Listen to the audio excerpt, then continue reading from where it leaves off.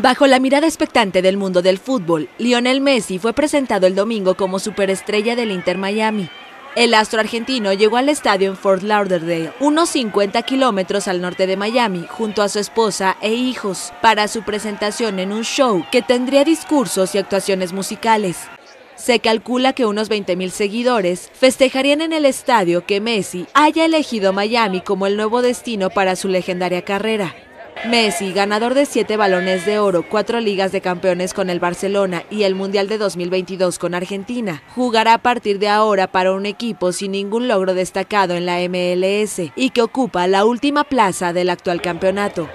A sus 36 años y tras dos complejas temporadas en el Paris Saint-Germain, el capitán albiceleste abandona por primera vez el fútbol europeo para pasar quizás sus últimas temporadas sobre el césped en un ambiente de menor presión deportiva el veterano centrocampista español Sergio Busquets, ex compañero de Messi en el Barcelona, también confirmó su fichaje hasta 2025.